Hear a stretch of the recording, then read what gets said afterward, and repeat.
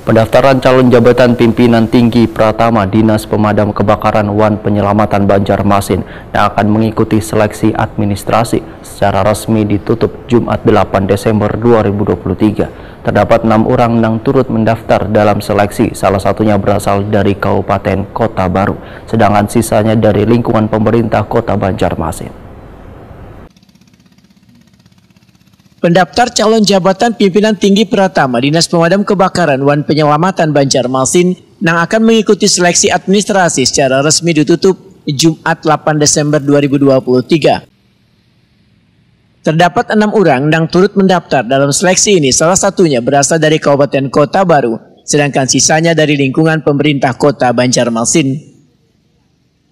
Kepala Badan Kepegawaian Daerah Wandiklat Banjarmasin Totok Agus Daryanto Wetakuni Prima TV jelang tengah hari Sabtu 9 Desember 2023 membedakan dari hasil seleksi administrasi terdapat tiga orang dinyatakan lulus administrasi dan berlanjut mengikuti kegiatan asesmen pada 13 Desember.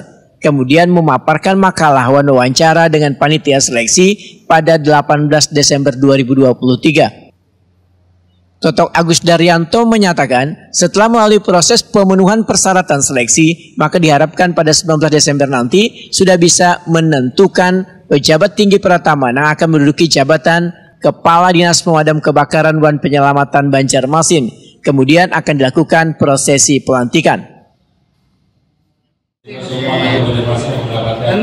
uh, dinas pemadam kebakaran ya kita hari kemarin sudah tertutup ditutup dan ada lima orang pendaftar hmm. nah ada lima orang pendaftar ini satu dari luar uh, luar Banjarmasin hmm. yang empat dari pejabat Pemko nah nanti hari ini kita akan rapat dulu untuk seleksi administrasi dan rekam jejak nah dari situ nanti kan kelihatan apakah kelimanya memang uh, lolos atau enggak nanti. Ya, setelah itu nanti ya di tahapan berikutnya tanggal 18 kita agak agak agak, agak molor ya.